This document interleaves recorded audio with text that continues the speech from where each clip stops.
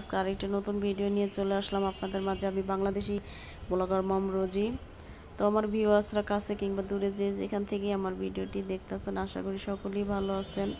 আল্লাহ তালার অশেষ রহমতে আমরা সকলে অনেক ভালো আছি। তো আজকে এখানে ছিটা পিঠা রেডি করব। তো আপনাদের মাঝে শেয়ার করতে চলে আসলাম। তো খুব সাধারণভাবে এই গোলাটা গুলিয়ে নিতে হয়। তো কীভাবে গোলাটা গুলিয়ে নিতে হয়, চলুন দেখি। তো এখানে আমি আতপ চালের গুঁড়া নিয়ে নিয়েছি দেড় কাপের মতো, তো পরিমাণ মতো লবণ দিয়ে দিলাম। তো আমার এই আতপ চালের গুঁড়াটা ডিপে ছিল, তো সেজন্য আমি এখানে কুসুম গরম পানি নিয়ে নিয়েছি। তো চালটা সাথে সাথে ভাঙে নিয়ে আসলে তো ঠান্ডা পানি দিয়েও গোলানো, বানানো যায়। তো গোলাটা আমি কুসুম গরম পানি নিয়েছি কারণ আমার চালের গুঁড়াটা ডিপে ছিল। তো সেজন্য আমি একটু হালকা কুসুম গরম পানি নিয়েছি যাতে হাতে সরানো যায় এভাবে।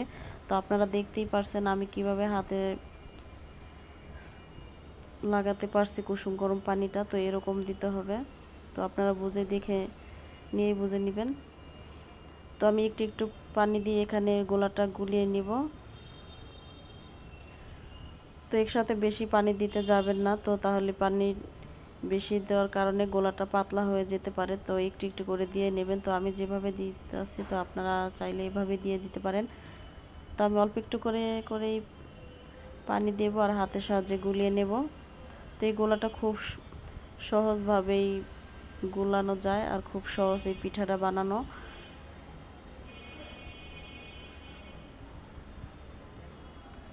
তো পিঠা বানানো আমার মায়ের কাছ থেকে শেখা। তো আমার দাদি মাকে যেভাবে বানাতে দেখেছি, তো আমি ও সেম এভাবেই প্রচেষ্টা করে আপনাদের মাঝে দেখিয়ে দিলাম।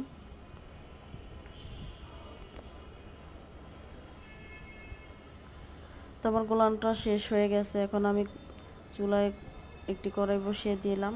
তো আমি এখানে হালকা একটু তেল দিয়ে কড়াইটা মুছিয়ে নিয়েছি। তো এই পিঠাটা বানাতে গেলে একটু তেল মোছা মোছা করে দিয়ে তারপর পিঠাটা ছিটাতে হয়।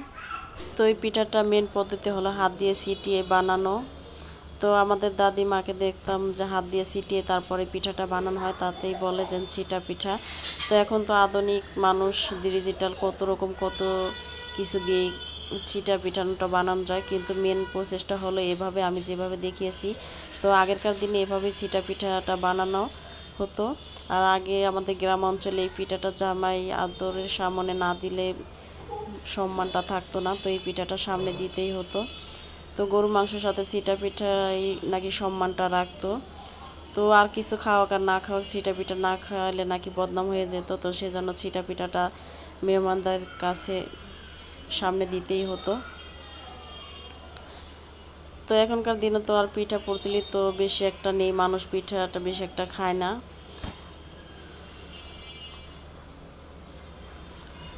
তো আগের দিন তো অনেক কিছুই হারিয়ে যাচ্ছে আমাদের বাংলার ডিজিটাল গ্রামে, মানুষ ডিজিটাল হয়ে যাচ্ছে।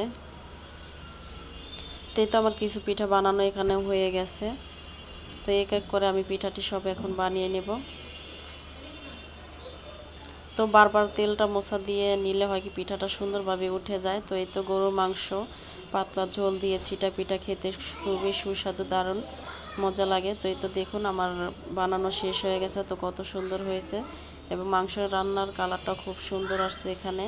তো এই ছিটা পিঠা মাংসের সাথে কিছু আলু অ্যাড করতে হয়, তো আমি এখানে নাদের বাবাকে দেবো খেতে। তো সে আর আলু খায় না, তো সেজন্য আর কি শুধু মাংস দিয়ে পিঠাটা তাকে দিয়ে দিচ্ছে এখন।